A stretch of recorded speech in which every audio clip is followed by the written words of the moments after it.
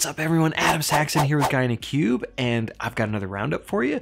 Before we get into the roundup, Pass Summit is coming up. It is in two weeks. I'm very excited. This is going to be my 10th Pass Summit in a row if you haven't been to Pass Summit or if you're not, or maybe this is your first time, you can check out a video I did last year for just highlights of what happened there. You can check that out up here. And I would love to see you. I will mostly be in the SQL clinic, so you can come by and say hi.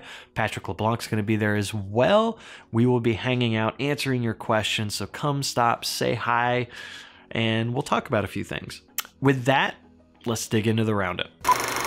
First up is a blog post from Chris Webb where he looks at the REST API that is now available with SQL Server 2017 reporting services. So if you're using SQL 2017 reporting services, you can actually use the REST API to communicate with the report server instead of just the web services. And so he looks at how you can actually do this. He uses Power BI Desktop to actually explore the report server a little bit. He also calls out that you can actually make calls to the model inside of report server. This is for data sets specifically that are created inside of the report server. So just a reminder that reporting services itself does not support Power BI reports. If you want to use Power BI reports, you have to use Power BI report server. So if you're interested in just using REST APIs against reporting services itself, check out this blog post. Imke Feldmann has a blog post where she looks at how to bulk extract your M queries from multiple Power BI desktop files. This may be interesting if you're trying to analyze the queries that you're using inside of Power BI desktop files or maybe trying to compare across multiple files themselves. I thought this was just an interesting technique and something you can maybe explore and see how this could benefit you in your organization and what you're trying to accomplish. She also has a link down in the bottom of the blog to an idea for a feature improvement, which would make this easier to do from the product itself outside of going through all the steps that she calls out in the blog. If this interests you, check out her blog, links down in the description below.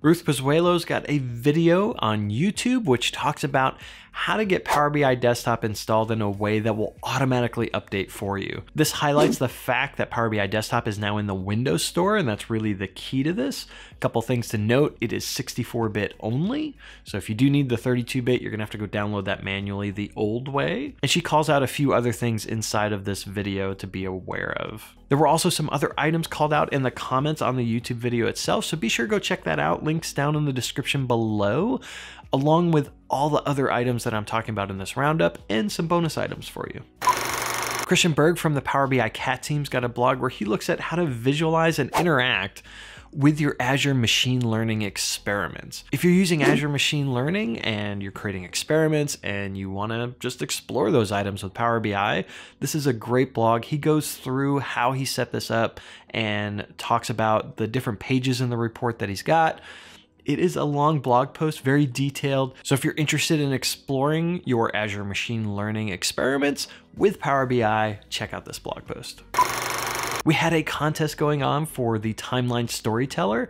This was using the timeline visual for Power BI, and we made an announcement of a winner. So Devin Knight from Pragmatic Works won the grand prize for this contest. Congrats, Devin. And you can check out this blog post to see the runner-ups and the results of the contest itself. So be sure to check that out and send them a congrats over on Twitter. All right, what was your favorite item in this week's roundup? Go and leave that down in the comments below and let me know.